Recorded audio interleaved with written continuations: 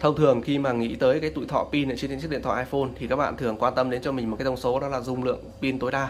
À, thông thường thì cái dung lượng pin tối đa này nó sẽ hiển thị trong cái mục cài đặt pin ở trong điện thoại iPhone. Thì chúng ta sẽ có một cái phần là dung lượng pin tối đa và chúng ta sẽ xem cái phần trăm còn lại của viên pin là còn bao nhiêu phần trăm.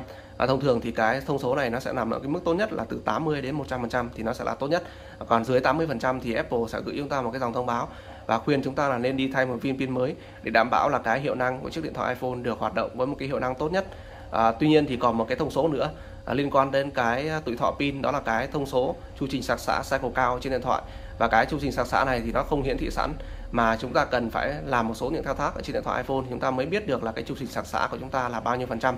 Và cái tuổi thọ của một viên pin thì cái chu trình sạc xạ này nó khoảng 1.000 lần thì nó sẽ là tốt nhất. Còn trên 1.000 lần thì chúng ta nên nghĩ là đến cái việc là chúng ta nên thay một cái viên pin mới để đảm bảo được cái hiệu năng à, sử dụng ở trên điện thoại của chúng ta được tốt nhất. Và sau đây thì mình sẽ hướng dẫn các bạn chúng ta sẽ kiểm tra được cái chu trình sạc xạ cycle cao ở trên điện thoại iPhone để xem là viên pin trên điện thoại iPhone của chúng ta nó còn sử dụng được tốt hay không.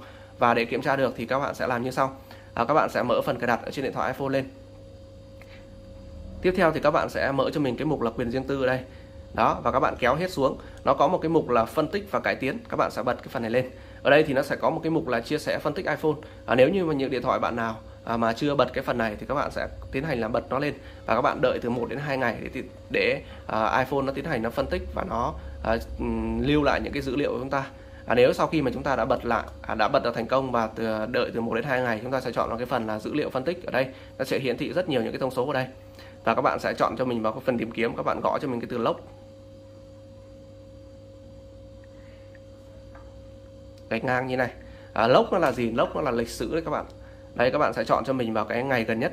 Thứ nhất là lốc average đây mình sẽ chọn cái ngày gần nhất. Ví dụ hôm nay là ngày 1 tháng 7 năm 2022 thì mình sẽ chọn vào cái dòng này. Đó đây nó sẽ hiển thị cho mình một cái dòng uh, phân tích như này và mình sẽ nhấn và giữ vào màn hình trên điện thoại iPhone. Sau đó mình kéo hết xuống. Cái thao tác này thì nếu mà bạn nào làm chưa quen thì nó sẽ hơi chậm một chút nha. Nếu bạn nào làm quen thì nó sẽ rất là nhanh thôi. Đó các bạn chỉ cần nhấn và giữ sau đó các bạn kéo hết xuống và các bạn sẽ sao chép lại rồi, như vậy là xong cái bước đầu tiên, các bạn sẽ thoát ra ngoài. Tiếp theo thì các bạn sẽ mở cái phần ghi chú trên điện thoại iPhone lên. Rồi các bạn sẽ nhấn vào tạo một cái ghi chú mới. Ở đây thì các bạn sẽ nhấn và giữ vào màn hình để chúng ta thực hiện cái thao tác dán cái phần mà chúng ta vừa mới sao chép xong. Rồi, như vậy chúng ta sẽ xong. Đó. Và bây giờ chúng ta sẽ quay trở lại này. Đây, các bạn sẽ mở cái phần ghi chú lên. Sau đó các bạn nhấn vào cái phần ba chấm ở đây. Đó. Và các bạn sẽ chọn vào cái mục là tìm trong ghi chú nha. Đó. Nó sẽ hiển thị lên một cái dòng chúng ta có thể gõ và các bạn sẽ gõ cái từ là battery cycle cao nha. Đây à, sau khi mà các bạn chỉ cần gõ cái từ battery thôi thì nó sẽ hiển thị cho chúng ta tất cả những cái thông số liên quan đến battery. Và đây các bạn sẽ tìm cho mình cái mục là battery cycle cao này. Đó các bạn có thể nhìn thấy rõ đây là battery cycle cao nha. Ở đây nó ghi là 186 lần có nghĩa là cái chu trình sạc xạ trên chiếc 12 Pro Max của mình đang là 186 lần. Và như vậy là đang còn dùng tốt.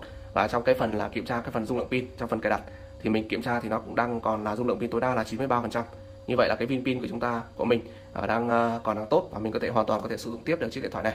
À, và như vậy là trên đây là mình đã hướng dẫn các bạn chúng ta kiểm tra cái chương trình sạc xã sai quảng cao trên điện thoại iPhone một cách dễ dàng nhất bằng cách là chúng ta bật cái phần là phân tích và cải tiến ở trong phần cài đặt ở trên điện thoại iPhone và sau đó chúng ta sẽ kiểm tra cái chương trình sạc xã battery sai quảng cao ở trên điện thoại.